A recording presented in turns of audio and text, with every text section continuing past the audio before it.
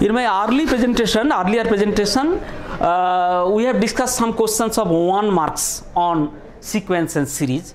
Now let me discuss just one question or two questions of two marks. Let us uh, select the second one because second one is very interesting. It consists of integration also. Uh, if you apply the concept of integration here, the problem will be very simple. Uh, so it is a basically a problem of limit. I am writing this limit n tends to infinity.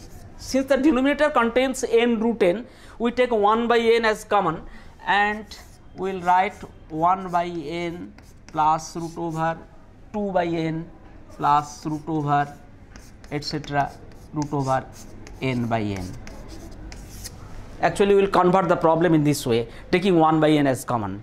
And you know, this can be written as limit n tends to infinity 1 by n into sigma r by n, where r equal to 1 to n.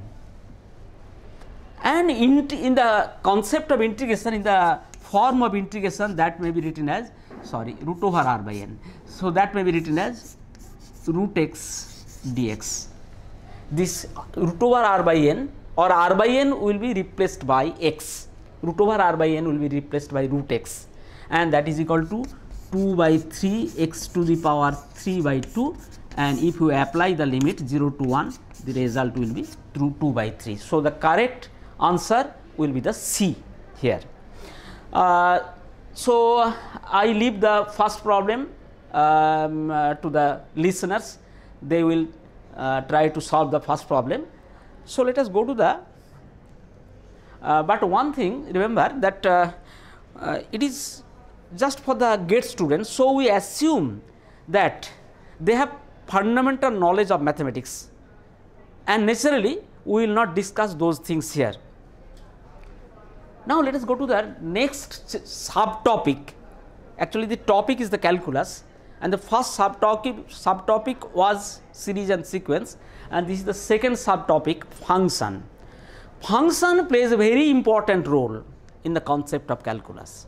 You know in arithmetic or algebra the raw materials are numbers.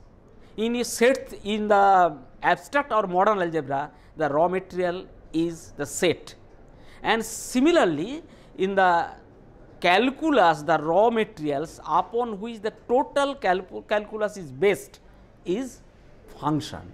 So, the concept of function is very relevant in the discussion of calculus. So, you are we shall discuss first the function. Suppose x and y are two quantities. Suppose price and um, demand or anything it may be velocity and displacement and etc. x and y are two quantities and we first assume that there is a relationship between x and y. The relation may be linear, may be non-linear. We first assume that x and y are not independent, there exists a relation between x and y.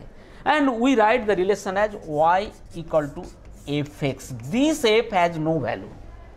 This f has no value.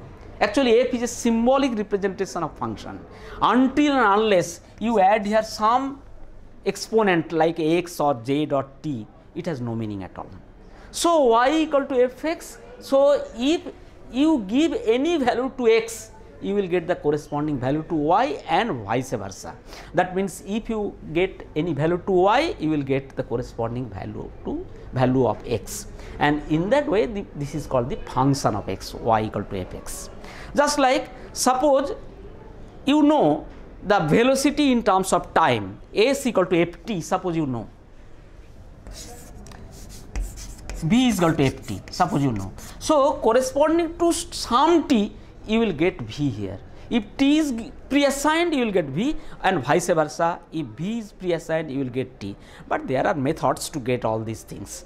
So, uh, function has very uh, important application in the concept of calculus. Let us consider this problem. This problem consists of one mark only, but the problem uh, actually those problems are set in various gate exams of various disciplines of engineering, sometimes computer science, sometimes mechanical engineering, sometimes electrical engineering etc. I have got a book like this. So, uh, suppose this g of h x we want to find it g of h x that is called composite function or function of a function. h x is a function and g of h x is a function of a function that is called composite function.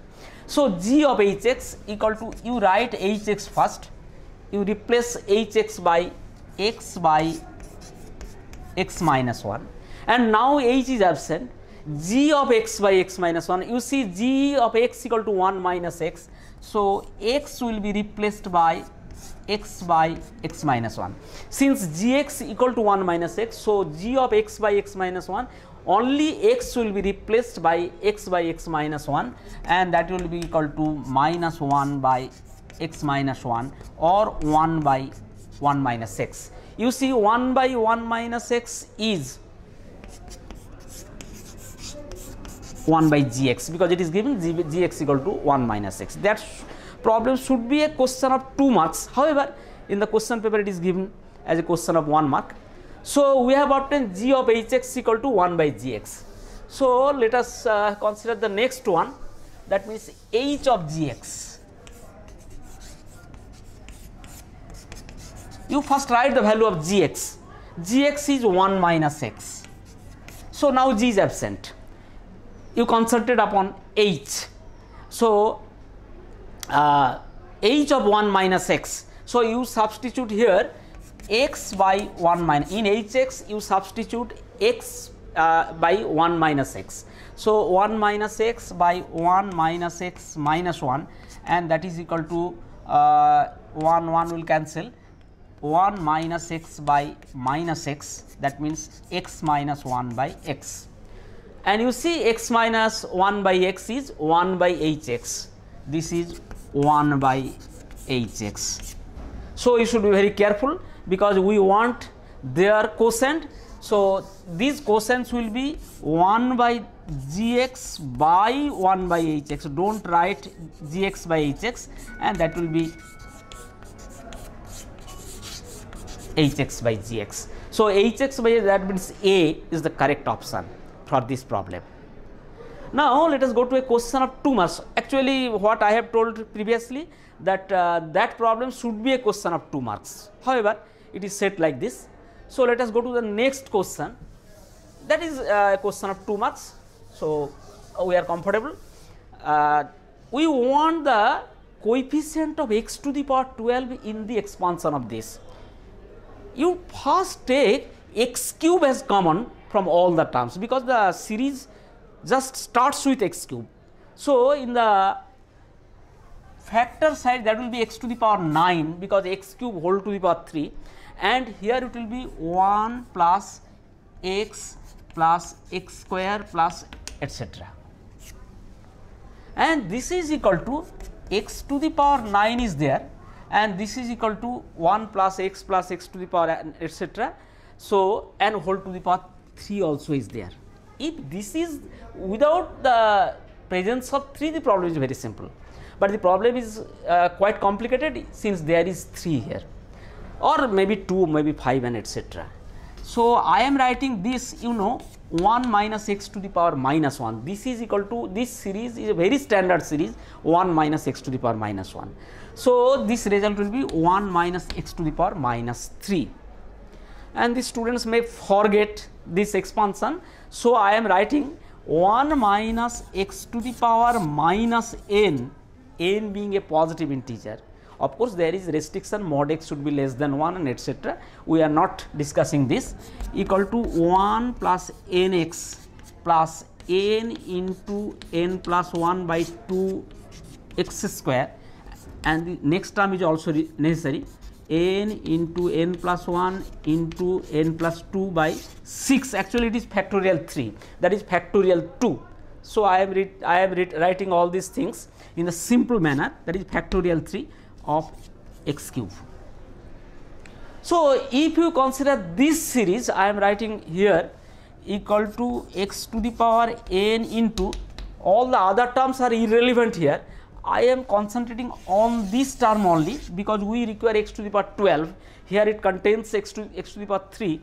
So, uh, for x we are writing 3 3 into 3 plus 1 that is 4 into 3 plus 2 that is 5 by 6 into x cube.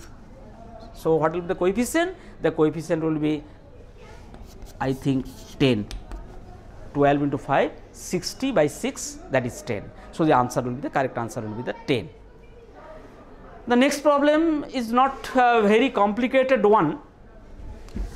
So, let me just give you the result.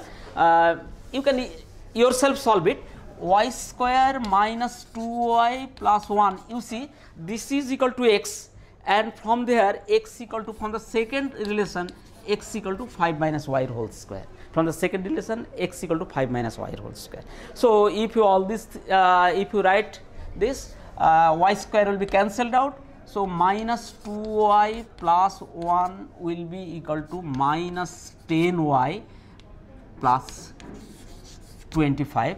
So, y will be perhaps 3 as y is equal to 3. So, x will be equal to from this relation 9 plus 10 minus 6 x equal to 4 and you get the value of x plus root y with the application of calculus uh, sorry calculator with the with applying calculator because root y will be like this root 3. So, that will be 1.732 you may remember the result if you forget. So, you will apply the calculator.